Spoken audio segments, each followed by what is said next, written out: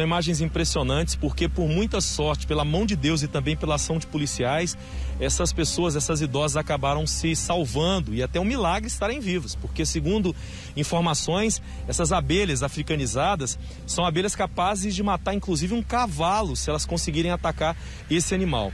Mesmo assim, Silvia, essas mulheres começaram a ser atacadas, elas estavam pescando ali próximos do rio Tigrinho, em Britânia, quando elas perceberam então a esses animais. Elas começaram a correr, a viatura passava no local, próximo do local, percebeu.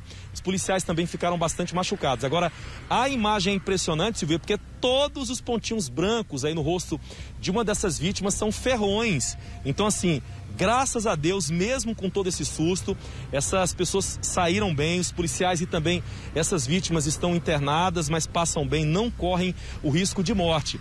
É como eu disse, essas abelhas africanizadas é uma mistura de abelhas aí com abelhas também ocidentais e são abelhas consideradas abelhas assassinas. Esse é o nome popularmente conhecido dessas abelhas africanizadas, como abelhas assassinas. Como eu disse, capazes sim de matar até um cavalo. Imagina uma pessoa. Nesse caso, por muita sorte e graças aos policiais, essas mulheres estão bem. Os policiais também estão bem. E aquele caso que chama a atenção, né?